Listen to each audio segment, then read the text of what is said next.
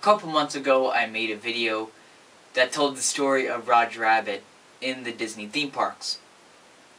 That was the first episode in a series I called Characters in the Parks, and since then, I have not made another video in that series. That is until today, because this episode is all about the Muppets. Who doesn't love the Muppets? I love the Muppets, of course. Their charm is something we've never seen before and likely will never see again. The Muppets were created by a man named Jim Henson, whose birthday was recently, about two weeks ago, I believe. The earliest sign of a Muppet character was Kermit the Frog on a show that Jim worked on called Sam and Friends. Sam and Friends had some success. It had enough to catch the attention of people at Sesame Street who hired Jim. Jim Henson was a huge contributor to Sesame Street, creating a lot of its iconic characters. He eventually did leave the show, and he went on to create The Muppet Show. This was the first show to feature all the Muppets. Fozzie, Kermit, Miss Piggy, Gonzo, Animal. They're all here.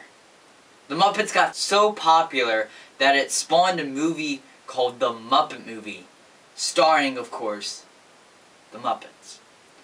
After this, the Muppets craze really began. Ten movies, a whole lot of merchandise, a Muppet Babies spin-off show on Disney Channel, even puppets that you could buy followed after the Muppet movies, movies success.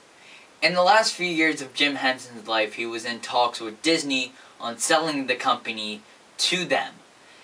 Disney had already plans to make an entire Muppets land, and this is where Disney enters the story. The land would have a 3D movie that would show in the Muppets Theater. A ride that would be a spoof on the Great Movie Ride titled The Great Muppets Movie Ride. Not so subtle there, is it? It would be almost like the Great Movie Ride, but movies like Frankenstein would be acted out by the Muppets. Another plan for this land would be a restaurant run by Gonzo and Rizzo the Rat. You're probably asking, isn't that just Pizza Rizzo? And you're kind of correct. But it wasn't supposed to be Pizza Rizzo back then. The restaurant was supposed to be called the Great Gonzo's Pizza Pandemonium Parlor and served pizza. The plan was to have no waiters and your food be delivered to you by animatronic rat on a conveyor belt on wood above you. This was supposed to be in the building where Mama Melrose is today, and if you look up on the ceiling, you can actually still see the wood that was supposed to be in the pizza parlor. And of course that never came to be, and I'll explain in a little bit why it didn't come to be. But, uh, I don't know. Getting your food served to you by a rat, even if it's animatronic, I don't see the appeal in that. Like I said before, this land never came to fruition. And why isn't that land here today? Well, in 1990, Jim Henson died due to pneumonia.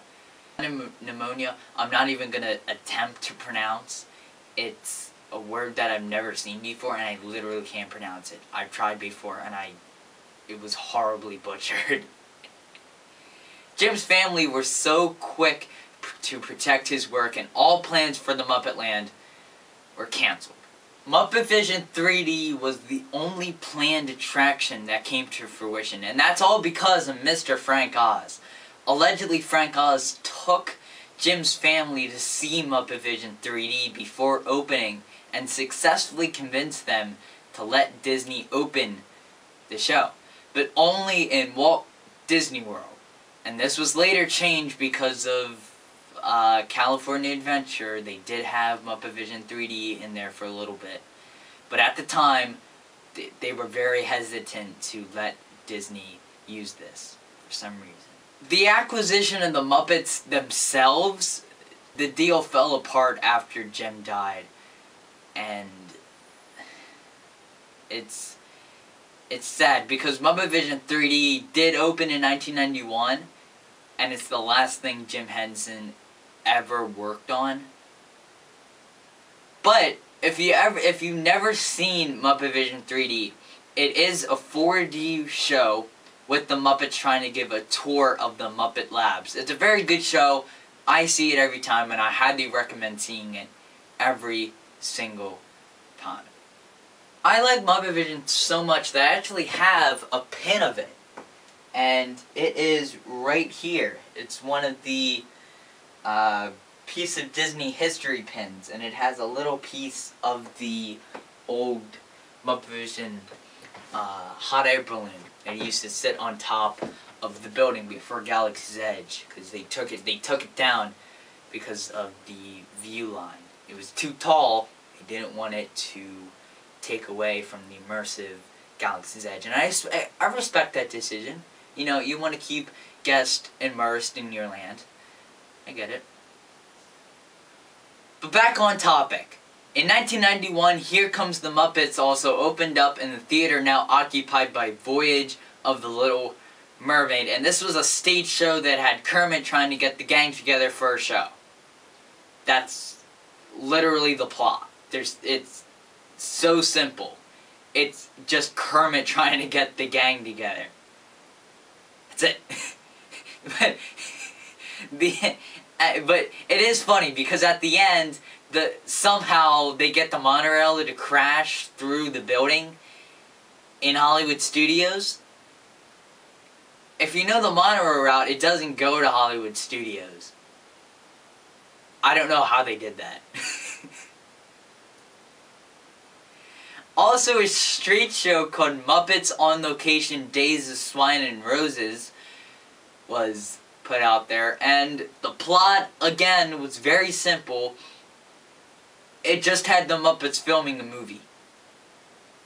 Not, yeah, not, not the best use of the Muppets IP there. And speaking of not great usage, the Muppets, in my opinion, are not very, are very underutilized by Disney.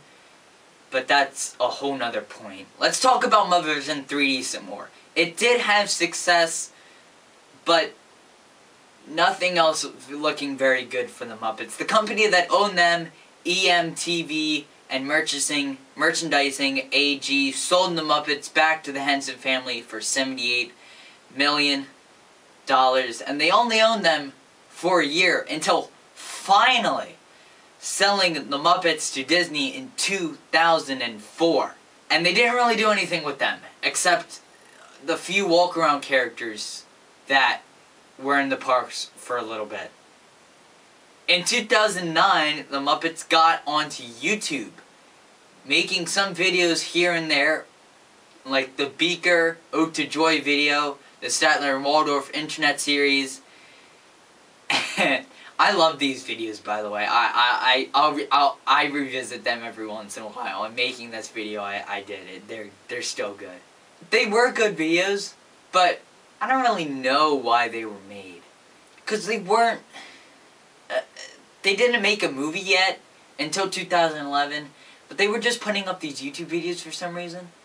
But actually, one had actual success. The Muppets covered Bohemian Rhapsody by Queen. And it gained, to this day, has 97 million views on YouTube. That's a lot.